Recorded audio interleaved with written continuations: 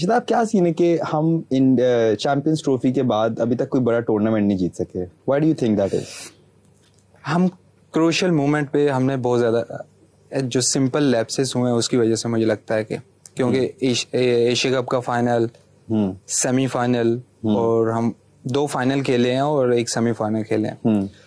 तो मुझे लगता है कि जो अब सेमीफाइनल भी निकाल लें उसमें भी एक लैप्स हुआ था जिसकी वजह से हम एशिया कप के फाइनल में मैंने कैच ड्रॉप किया हम्म। जिसकी वजह से और फिर फाइनल में मुझे लगता है कि हमारा एक ऐसा स्टेज बन चुका था कि जिसमें हम अच्छे रन कर सकते थे लेकिन उस के बाद बैक टू बैक विकेट गिरना फिर रन रेट रोकना तो वो छोटी छोटी चीज़ें थी मुझे लगता है कि वो एक प्रेशर सिचुएशन में हो जाती हैं हम्म।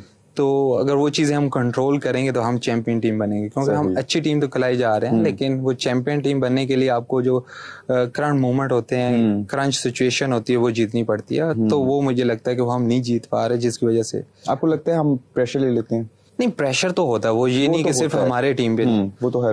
प्रेशर लेना एक डिफरेंट चीज़ है। मुझे नहीं लगता कि ऐसा कि आप लेकिन आपसे जब गलती हो जाती है हम्म। और आपसे गलत मौके पे गलती हो जाए तो वो फिर लोगों की नज़र में हालाँकि आपके शायद माइंड में ऐसा प्रेशर वाला कोई सीन ना हो आपको कोई हम्म। ऐसा फील ना हो रहा लेकिन आप गलती तो किसी टाइम भी हो सकती है। हम्म। तो अगर आपसे गलती हो जाए तो वो फील यही होता है कि ये प्रेशर की वजह से ये चीज़ हो रही है। अच्छा शिदाब आपने बाबर आज़म मिस बाउल हक और सरफराज के अंडर खेले आप उनकी कैप्टनसी में। सबसे ज़्यादा मज़ा किसके साथ आया? किसकी कैप्टनसी मुश्किल ये बड़ा मुश्किल देखिए मेरे कैरियर के डिफरेंट स्टेज थे। हम्म। जब मैं सैफी भाई के अंडर आया तो उस टाइम हम्म। मैं व्हाइट बॉल का कैरियर स्टार्ट कर रहा था। हम्म। और मिसबा भाई के टेस्ट डेब्यू करना और मिसबा भाई और यूनस भाई की वो लास्ट सीरीज़ थी। तो क्योंकि इन सबको हमने टीवी पे देखा और काफ़ी अरसे से देखा था और उनके साथ खेलना। तो एक बड़ी अचीवमेंट थी। तो मुझे तो पहले मैच में समझ ही नहीं आया और पहले मैच में ड्रॉप भी हो गया। तो लेकिन एक डिफरेंट कैरी के स्टेज थे। जब बाबर के साथ खेला तो उसके साथ तो क्योंकि वो दोस्ती वाला फैक्टर भी था मैं हम्म। खुद वाइस कैप्टन था। तो एक डिफरेंट था। इसमें प्रेशर हम्म। ज़्यादा था। हम्म। मुझे लगता है बाबर के साथ। सैफी भाई के साथ मैंने बहुत ज़्यादा एंजॉय किया। सही। क्योंकि मैं लड़कों को डांट भी पड़वाता था खुद खाता भी था किसी की वजह से। तो वो मैंने वो फुप्पो वाला सही काम किया सैफ भाई का हाँ। आपने बाबर आज़म का नाम लिया है। उनके साथ आपकी बड़ी दोस्ती है सारा। तो बाबर आज़म अभी तक एक कोई बड़ा टूर्नामेंट नहीं जीते। आपका क्या ख्याल है? Why do you agree with it नहीं बाबर और मैं हम चैंपियन ट्रॉफी जीते हुए आपने कहा है कि चैंपियंस ट्रॉफी के बाद उसके बाद ऐसा अभी तक कुछ देखने को नहीं मिला। आपको क्या लगता है कि उसका क्या रीजन है? इवन तो Babar Azam is really fit guy नहीं बाबर के सिर्फ़ देखे इंडिविजुअल गेम तो है नहीं है एज ए टीम हम जो दो फाइनल भी खेले एक सेमीफाइनल खेले तो वो क्रंच हम्म। मोमेंट हम अच्छा नहीं खेले जिसकी वजह से हम्म। हाँ वो तो होपफुली अभी इस हम्म। साल फिर वर्ल्ड कप है। हम्म। तो टी ट्वेंटी की टीम हम मुझे लगता है कि हमारी टीम बहुत अच्छी बैलेंस है। तो होपफुली इनशाला हम्म। जो फाइनल वाला वो स्टेज है वो हम पार करेंगे। इनशाला आपकी फेवरेट विकेट कौन सी रही है शदाब अब तक? जो टाइम पे लियो। मुझे लगता है चैंपियन ट्रॉफी में जो रूट की सेमीफाइनल में।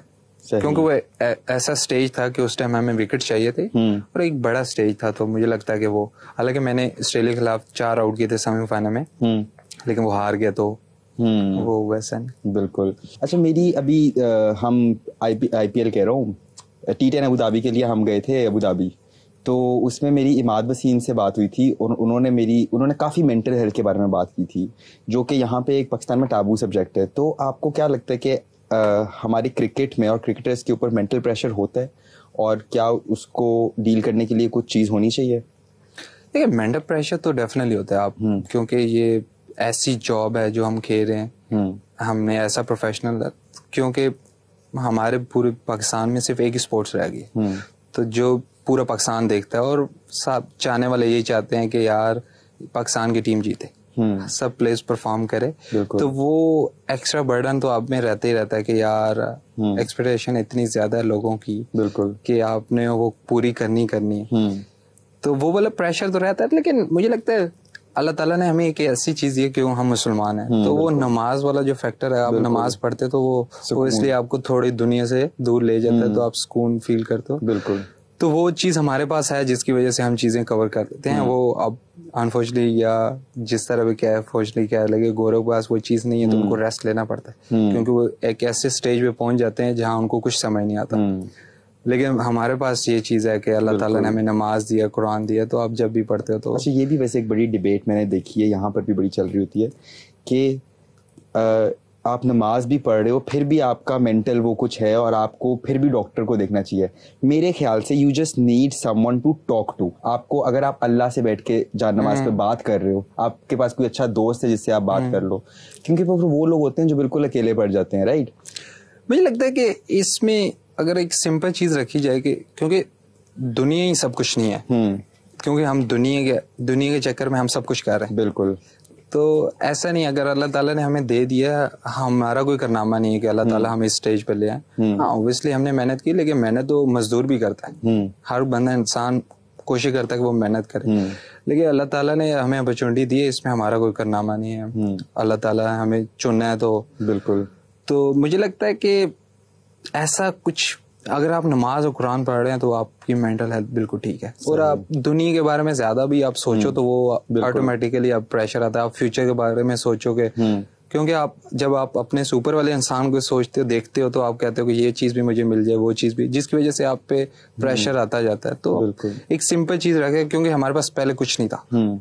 तो अब सब कुछ आ गया तो इसको खोने का इतना डर नहीं है क्योंकि हमने वो स्टेज देखा हुआ है। तो अगर वो स्टेज आ भी जाता है तो हम्म। हम गुजारा कर लें क्योंकि हमने पूरी लाइफ वो गुजारी हुई है हम्म। आप लाइक ऑब्वियसली दुनिया में जितनी भी स्पोर्ट्स हैं उसमें बहुत प्रेशर होता है हर स्पोर्ट में ही होता है आपको कभी मेंटल मेंटल वो चीज़ हुई है फील नहीं एक थोड़े टाइम के लिए होती है हम्म। क्योंकि आप एक ऐसे मैचेस अगर आप सेमीफाइनल की बात करें फाइनल की बात करें वो जो हम हारे थे वो वो वाली रात थोड़ी मुश्किल होती है कि हाँ। यार आपकी ना हर टाइम आपको नींद नहीं आती आप हम्म। वही सोच रहे हो आपकी आँखें बंद होती है तो वही सामने आ जाता है। हम्म। लेकिन वो थोड़ी देर बाद आपका ना कवर कर लेते क्योंकि अभी आपको इंजरी भी हुई है आप हाँ, रिहैब में भी हैं सारा। तो मुझे लगता है कि सबसे मुश्किल इंजरी है। क्योंकि रिहैब करना सबसे मुश्किल और सबसे बोरिंग हम्म। तरीन चीज़ है। हाँ। क्योंकि आपका एक मोटिवेशन ही होती कि आप पक्का ठीक हो गए आप ठीक हो गए तो वैसा परफॉर्म कर पाओगे। आप ठीक हो गए तो टीम में आओगे। दोबारा से आपको स्टार्ट करना पड़ता है सब कुछ। तो मुझे लगता है जो इंजर्ड होता है उसको बहुत सारी चीज़ों का आइडिया हो जाता है कि हम्म। यार ठीक है हम्म। ये क्रिकेट तो है क्रिकेट एक स्पोर्ट्स है हाँ। तो वो स्पोर्ट्स की तरह थोड़ा सा लेना शुरू करता है क्योंकि मुझे लगता है कि हम लोगों में सिर्फ़ ये मसला है कि हम क्रिकेट को स्पोर्ट्स की तरह से नहीं लेते हाँ। वो हमारे लिए सब कुछ है बिल्कुल ऐसे जिसकी वजह से हमारा एक्स्ट्रा बर्डन रहता है प्रेशर हम्म। का कि यार सब कुछ ही है। आपके पास सब कुछ अगर मेरे पास एक शूज़ है तो वही सब हम्म। कुछ मेरे लिए। हम्म। तो उसके ना वो केयर करने के लिए अगर उसको कुछ हो जाए तो वो मेंटल ना मेरे पे रहेगा। सही। तो मुझे लगता है कि जब आप इंजर्ड होते हो तो बहुत सारी चीज़ों का आपको समझ आती है। आप, हम्म। आपको दोस्तों का पता चल जाता है।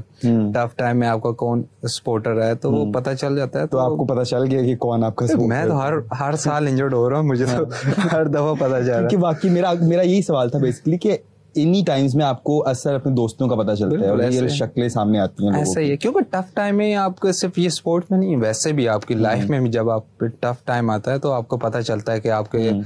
साथी कौन है और हम्म। जो साथी बने होते हैं वो फेक हैं या रियल हैं वो आपको पता चल जाता है। नहीं बट आई होप आप रिकवर करें जल्दी से और इंशाल्लाह। आई नो कि आप बहुत इंशाल्लाह। फिट ही करेंगे सारा।